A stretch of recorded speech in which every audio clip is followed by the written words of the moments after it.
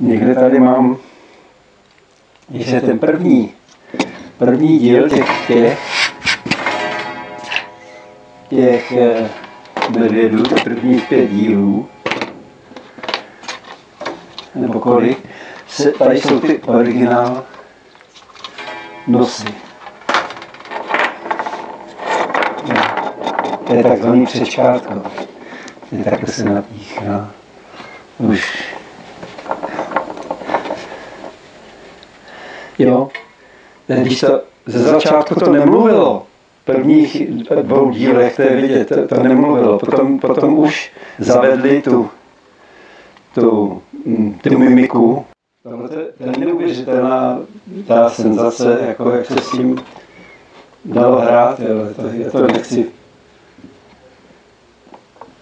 Protože to, ten je originál, ta kosta, ty dvě, kde je tam ta další, ten nevím. Tohle bylo geni, geniální, že, že to hrálo takhle, víš, a dalo se to, dalo se ode, ta huba odevírací byla takhle.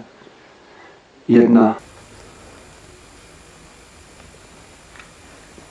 Štěpánek udělal medvědy u Kolína a e, ty se proměňují, nic tam není stálý, měnějí se všelijaký košťata, všelijaký paraplíčka, ve všelijaký další blbosti a ta překvapivost těch proměn je strašně veselá. Pro mě je to ohromně vlastně objevný, protože eh, v té Štěpánkové eh, práci ta tendence k tomu vyjadřovat se v nefigurativních znacích, dokonce geometrických, byla jistá novinka. A eh, on tady hledal evidentně cestu sám pro sebe a pro své vyjadřování. A je to moc hezký tisk. A bylo zřejmé, že když měl nový prostředek, to je tedy počítač, že toho doved využít ze vším všudy i s těma barevnýma nuancema. Protože to je druhá věc je, proti té kompozici, protože ta je výtvarně cítěná, tak je tam ještě něco, eh, co je nad tím, co je tou otázkou, kterou tímto obrazem sděluje. Já si myslím, že to je moc dobrý, že to máte a že e, to existuje.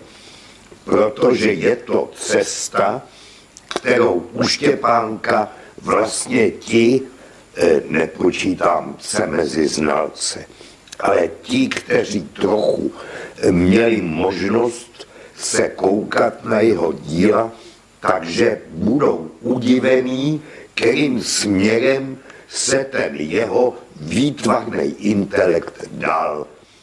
Osobnosti a, a jeho dílu? No, to je pro mě nedostatečně doceněný dílo. Pro mě medvědi jsou pořád jeden z ne- nejhezčích našich animovaných filmů zahajují eh, éru, která potom už eh, eh, vyústila do takových jako dá se říct, znaků, který už se potom využívali k zábavě. Pro Štěpánka tohle to není zábava to je tvůrčí činnost, protože on byl posedlej tou chutí tvořit a tvoření znamená hledání. A to jeho, podle mého názoru, jak jsem ho málo poznal, eh, bylo pro něj charakteristický. A rozhodně ta, tento list eh, dokládá, tu možnost odevírání dveří ještě do dalších oblastí, které ho zajímaly. já vám děkuju, že to vidím a že jste mi to přines ukázat. Eh, je to uzavřený dílo, ale tohle to odvírá ještě další prostory v jeho myšlenkách, tvořivých myšlenkách, který obsahoval, který ještě měl a který teda zřejmě nevyužil víc než jen několika listy. Nevím, kolik podobných ještě máte, ale tenhle ten o tom svědčí.